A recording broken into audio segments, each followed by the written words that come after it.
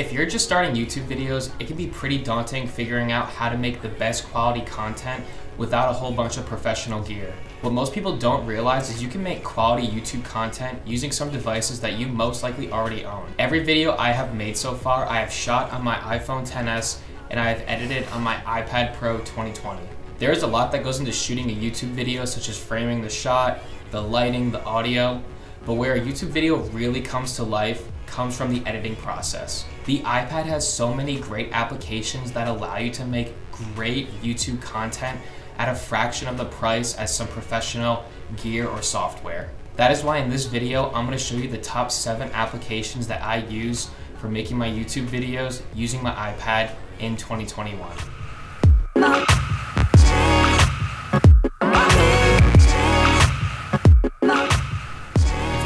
Yet or you're new to my channel, then welcome. My name is Nathan, and on this channel, I do tech reviews, unboxings, and tips and tricks. And if you're interested in more content just like this, then don't forget to hit the subscribe button as I don't want you to miss any of my future content. With that being said, my first and probably most important application I use for making my YouTube videos is LumaFusion. I use LumaFusion as my main video editing application and this is by far the most versatile and comprehensive video editing software you can get for the iPad. So LumaFusion will cost you a one-time purchase of $29.99 US dollars. And I know this sounds like a lot, but compared to other video editing software such as Final Cut Pro, which goes for $300, you can do a whole lot with this software and it won't limit you unlike other video editing applications like iMovie. This is probably one of the biggest investments you can make for your YouTube channel as the video editing really transforms your video from an average or a slightly above average to a great YouTube video. So just to quickly run over some of the basics of LumaFusion, it is so seamless and easy to use. You can quickly drag and drop in different video clips, audio clips, pictures, files, music, anything you want into the pre-described timeline. The timeline is super easy to navigate and there are so many shortcuts between copying and pasting settings from one clip to another to built-in transitions. You can upload a bunch of different effects, music, or whatever else you might need to make your video stand out. The Apple Pencil also works really well and seamless with LumaFusion, and I haven't noticed that it slowed me down at all. In fact, I actually think that my workflow is a little quicker just using the iPad and the pencil as compared to hooking up a keyboard and a wireless mouse to it. And this is because there are different hand gestures that you can do on the iPad with your fingers, such as like zooming in on the timeline and zooming out with a pinch. LumaFusion is easy to pick up and to gain the foundations of, but there is such a large learning curve to it where you can really have the ability just to take your video editing to the next level if you put in the time and dedication into learning the application. So I'm not gonna give like an in-depth tutorial of LumaFusion in this video, that would need its own separate video just because there's so much you can do in it. And I wouldn't even consider myself a professional. I am nowhere near that, and I am still learning each and every day, like new tips and tricks and stuff to do to boost up my video editing skills. If you're interested in LumaFusion tips and videos, then down below in the description, I'm gonna leave a link to RobHK's YouTube channel as I've learned most of my LumaFusion like kind of tutorials and stuff like that from there. He's a fantastic YouTuber and has really helped me and my own personal experience with LumaFusion grow. So now the next app I really recommend you getting for your iPad for the sake of YouTube is Notion. And I use Notion for all of my script writing, video tracking, and video progression as I'm going through each of them. As you can see here, I use this video progression tracking process that I found from Ali Abdaal. So this video tracking process, you create different categories for each video idea that you have. And then as you progress through the timeline of the video, you'll start to move it as like you've completed each check mark or checkpoint on this list right here. So looking at the first one, no status, which is just general video ideas. And then the next one's ideas, which are videos that you want to make in the future. Then there's writing a script. I put videos into this category when I'm in the process of writing the script for the video. The next category is script ready, which is when a script is completely finished and then is just kind of sitting there waiting for me to set up my camera equipment and ready to film it. The next one is filmed, so I'll move the video into this category once when I have completely filmed the video and everything I need for the different shots, A-roll and B-roll. So next category is editing and I will leave a video in this section throughout the whole process of me video editing and this usually takes the longest amount of time. And the final one is published and so this is where I'm to keep all of my finished video ideas that I've completely finished from start to end. And I like this because I don't ever have to like delete the scripts to like make room. It's nice and organized in its own category and if I ever need to go back for like information in the scripts that I write, I can go back and check these out in the publish section I can just copy and paste it into a new one if I need it. Notion syncs across all devices, so I have it on my computer, I have it on my iPad, my phone, anything that you type on one of them instantly syncs up to another one. It's just great having that connectivity between all devices. So like if I'm out and about and I have a video idea, I can quickly go into Notion, write it down on a new idea, and then I'll have it later on to work for and I won't like forget about it throughout the day. There's a whole lot more that you can do with Notion, but I've recently just gotten into it and I do really like the workflow of it, so I wanted to include it in here.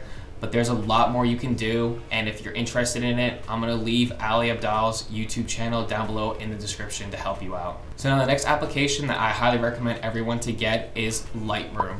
So Lightroom is my go-to photo editing application for the iPad as there's a crazy amount of customization that you can do to photos when you upload them to the app. I use this application for editing all Instagram photos I may have or thumbnail photos I want to use in the future. There is so much that you can do in this photo editing application such as adjusting the lighting, color, effects, details, optics, and more.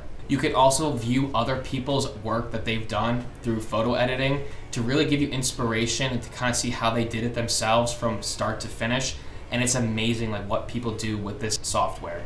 So now the next application I use for almost all of my YouTube videos is Mojo. So Mojo is a commonly used app to help make Instagram stories pop more, make them a little more interesting, but it is where I go to to make all of like my overlay title animations. I actually paid for the yearly subscription when it was on sale just because I thought it would be a great investment and I really do like these animated overlays and it saves me a lot of time from having to go through and make my own animations each time. So I'm gonna quickly run through how I make an overlay using this application.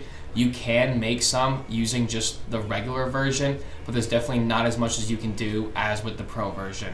So to make one of these animated overlays, you're gonna scroll through and find the blank canvas in Mojo. Next, you're gonna go to Format, Landscape, and then add a green screen background. Next, press the plus icon on the bottom right corner of the screen and hit the text. Then you can scroll through all different types of pre-animated text that can be further customized later. When you find an animation that you like, you click on it and then you can go in and edit the text afterwards. When you have the text that you want, I usually go to the timing and increase the time of the clip to six seconds as it makes it easier later on when video editing so I don't have to like copy and paste the middle part of it over and over again to fit how long I want. Then when you have everything to your liking, you can save it and either download it to your photos or import it directly into LumaFusion. So here's a quick on how to actually put in one of these overlay animations into your videos.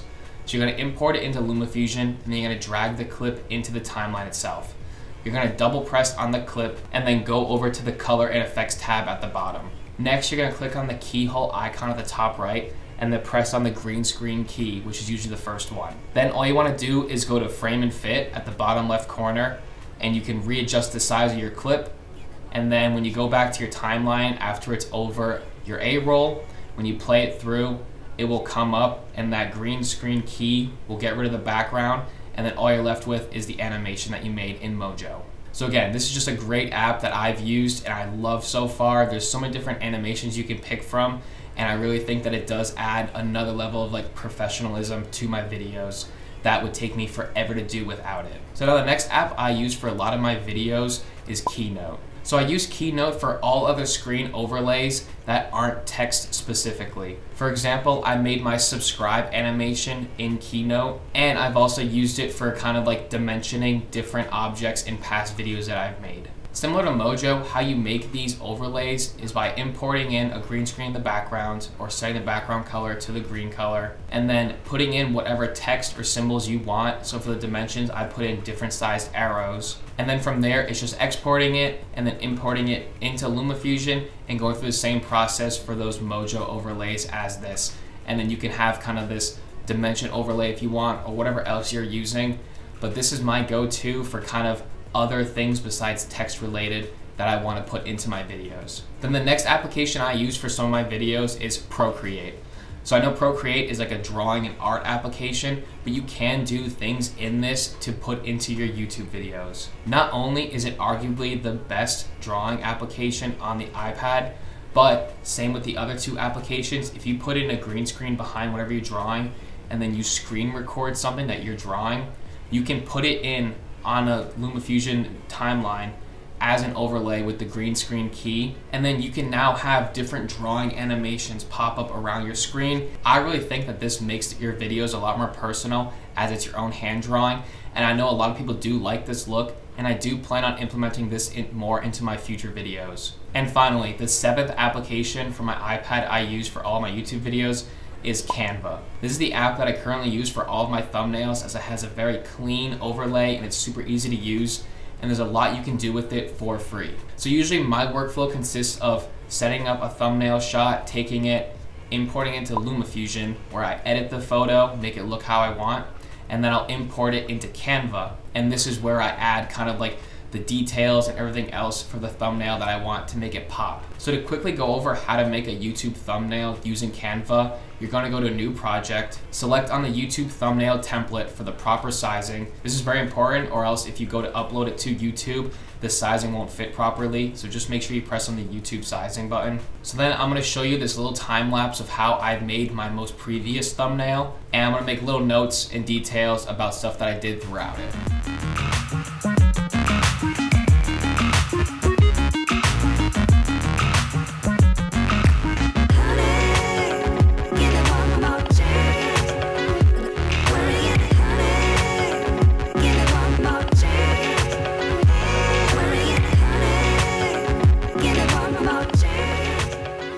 There you have it. Those are the seven applications I use on my iPad to completely make all my YouTube videos. Once I filmed everything on my iPhone, I import everything to my iPad and the rest of it is done with these seven applications. It is honestly amazing and I'm so happy that I haven't had to make a huge purchase into like a new PC or a new laptop to help me create these videos as I've been able to manage I feel like making decently quality content using just these two devices alone. So if you have these two devices as well, then please feel free to take this workflow that I showed you today, and I really hope that it can help you out in the future to boost your own content. If you feel like you learned something new today, or if you liked the video, then please go down below and subscribe and drop me a like, as it really helps me out a lot, and I also don't want to miss any future content I have. And so with that being said, have a great day everyone, and cheers.